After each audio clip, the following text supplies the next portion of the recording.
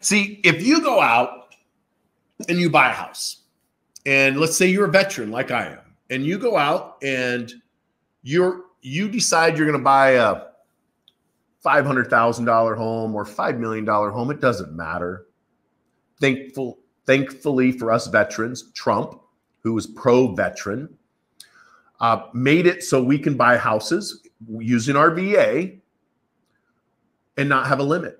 See, when they first created the VA program back in the 40s, they put a limit on how much of a house a veteran could buy. And for almost 80 years, all of the Democrat presidents, all of the Republicans, all of them prior to Donald Trump did absolutely nothing to help us veterans be able to get into house. Donald Trump changed that. Whether you like him or not, I'm very thankful for what he did for the veteran community. He made it so if you're a veteran, you can buy any house in any neighborhood at any dollar amount.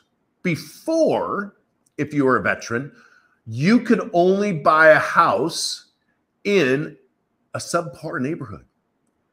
You couldn't buy a house in a nice neighborhood. You had to go to the neighborhood that people don't necessarily want to live in. And so veterans just didn't use their VA benefits for it. That's why I never used it before, is because I didn't want to live in the slums.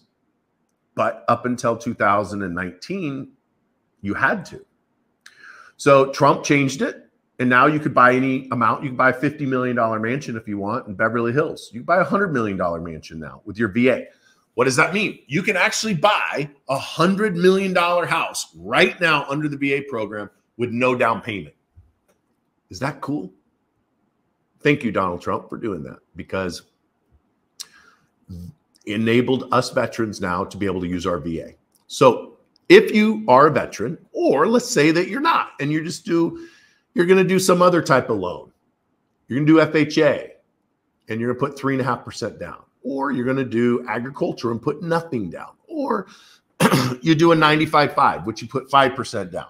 Whatever it is, FICO does not care how much you owe on the house versus what the original loan balance was. So, for example, you go out, you buy a million dollar house, you put no money down. The original balance is a million dollars. The balance owed today is a million dollars. And next month, it'll be a couple thousand dollars less after you make your payment. FICO doesn't care about that.